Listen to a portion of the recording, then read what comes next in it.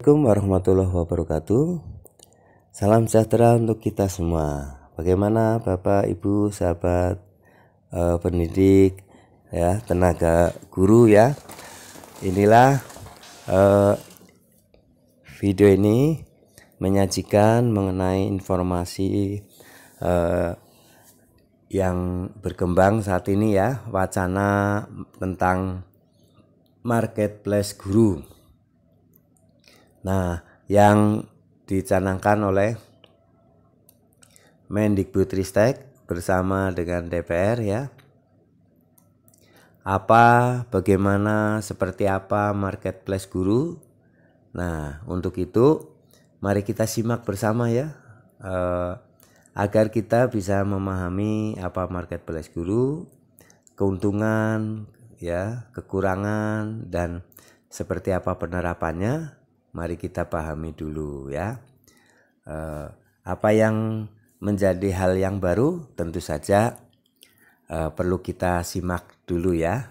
Eh, baik, Mendikbud siapkan marketplace guru seperti apa? Nah, baik kita ini ya seperti apa ke marketplace guru? Apakah guru seperti barang dagangan ataupun uh, seperti apa? Ya, mari kita uh, simak.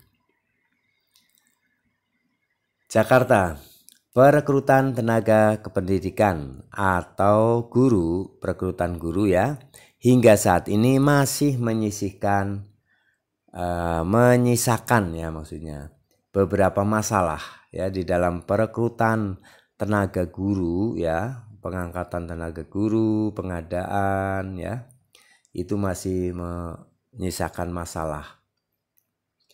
Dalam usaha menyelesaikan masalah tersebut, Menteri Pendidikan, Kebudayaan, Riset, dan Teknologi Nadiem Anpan Makarim berencana membuat marketplace bagi guru. Nah ini baru rencana dan baru diajukan ya ke DPR.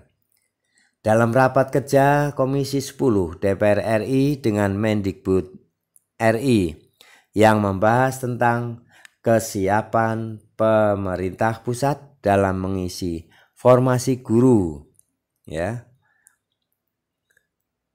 P3K ya.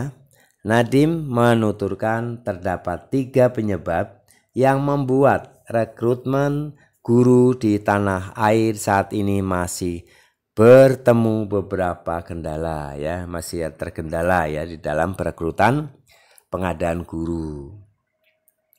Nah, kendala itu apa saja ini menurut Mendikbudristek?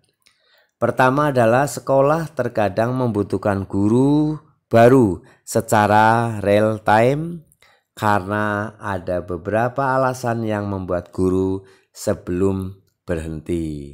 Sementara itu, rekrutmen guru saat ini masih dilakukan secara terpusat dalam jangka sekali tiap tahunnya. Nah, ini jadi selama ini untuk kekurangan guru itu akan direkrut akan diangkat itu setiap tahun ya setahun sekali. Sedangkan kebutuhan guru itu selalu sewaktu-waktu e, dibutuhkan karena ada yang e, berhenti atau pensiun ya. Guru itu adalah pekerja di dalam sekolah, sekolah kita yang bisa kapan saja pindah, bisa saja berhenti, pensiun atau meninggal sewaktu-waktu. Tutur Nadim dalam live streaming Raker Raker Komisi 10 DPR RI bersama Mendikbud Ristek ya di YouTube ya Komisi 10 DPR RI channel. Kedua, menurut Nadim, proses perekrutan guru tidak sesuai dengan kebutuhan sekolah. Ia mengatakan bahwa saat ini masih ada siklus yang tidak sinkron antara sekolah dan pemerintah pusat. Perekrutan ini dilakukan secara terpusat karena adanya kekhawatiran bahwa jumlah dan kompetensi guru itu tidak sesuai kebutuhan dan sebenarnya kalau kita sudah punya data dari setiap sekolah seharusnya yang mengerti kebutuhan rekrutmen itu kembali kepada sekolah masing-masing ya. Sebenarnya sekolah yang membutuhkan beberapa berapa guru yang dibutuhkan.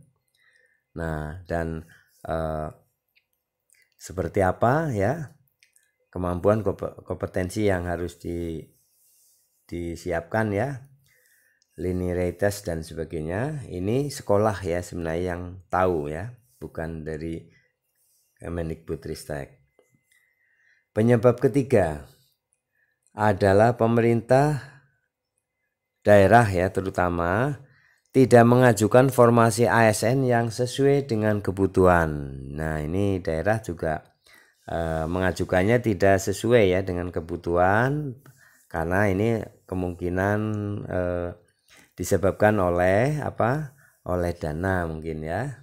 Jadi perekrutan ini ya dilakukan secara terpusat ya selama ini nih ya eh, kegiatan perekrutan pengangkatan guru itu eh, masih terpusat maka perekrutan ini dilakukan secara terpusat karena adanya kekhawatiran bahwa jumlah dan kompetensi guru itu tidak sesuai kebutuhan dan sebenarnya kalau kita sudah punya data dari setiap sekolah, seharusnya yang mengerti kebutuhan rekrutmen itu kembali kepada sekolah masing-masing. Tambahnya, penyebab ketiga adalah pemerintah daerah tidak mengajukan formasi ASN yang sesuai dengan kebutuhan. Pemda tidak mengajukan formasi ASN yang sesuai dengan kebutuhan data yang dari pusat, data jumlah pendidik ya dari Dapodik karena berbagai macam alasan ya. Ini kembali kepada daerah ya. Marketplace untuk guru. Nah seperti apa marketplace untuk guru?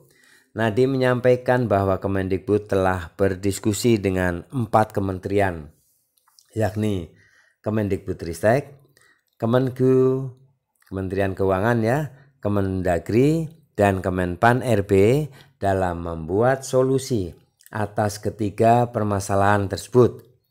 Salah satu solusinya adalah dengan pembuatan marketplace untuk guru. Nah, ini uh, sudah dibahas ya bersama empat kementerian.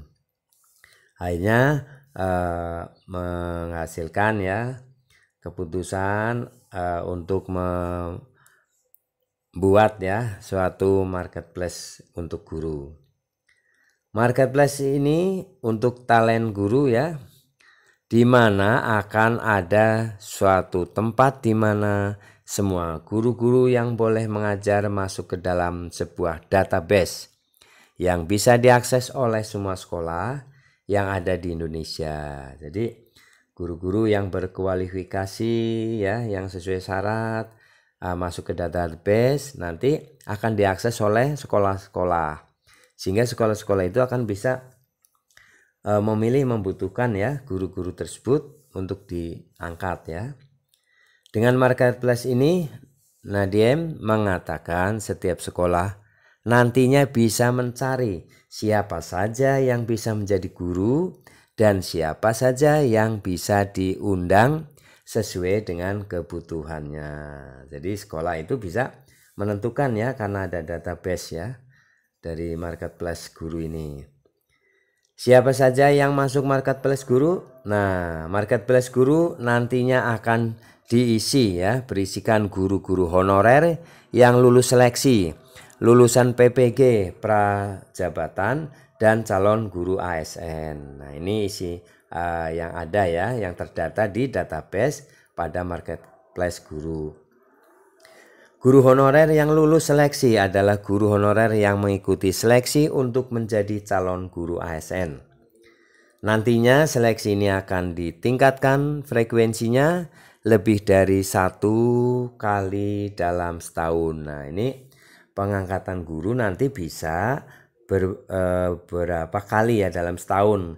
Kalau selama ini kan hanya setahun sekali. Nah untuk melalui marketplace guru ini bisa e, tiga kali ya di dalam setahun untuk merekrut mengangkat guru karena kebutuhan yang mendesak tidak menunggu satu tahun untuk diangkat Untuk lulusan PPG Prajabatan adalah mereka yang lulus uji kompetensi dan dinyatakan memenuhi syarat sebagai calon guru ASN.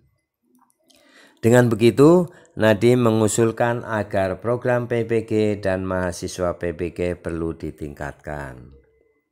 Sementara calon guru ASN adalah semua guru honorer yang lulus seleksi dan lulus PPG Prajabatan mereka nantinya dipersilahkan untuk mendaftar ke dalam marketplace calon guru ASN. Nah, demikian ya gambaran singkat mengenai marketplace guru.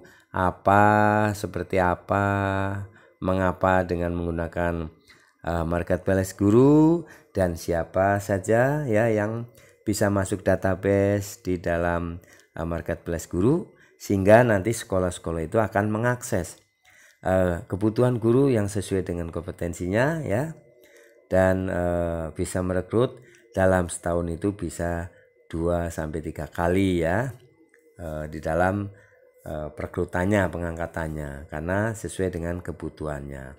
Jadi tidak menunggu satu tahun baru uh, nanti pengadaan pengangkatan. Ya semoga program ini bisa dipahami dan bisa menjadi solusi di dalam mengatasi masalah kekurangan guru. Semoga bermanfaat gambaran ataupun uh, pencerahan ini ya. Dan uh, jangan lupa dukung selalu channel Barino Berbagi, channel up to date Mas Guru dengan cara subscribe, like, isi komentarnya dan share video ini ke grup WA lainnya. Terima kasih.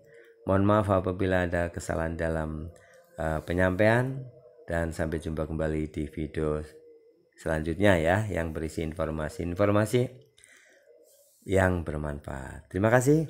Assalamualaikum warahmatullahi wabarakatuh.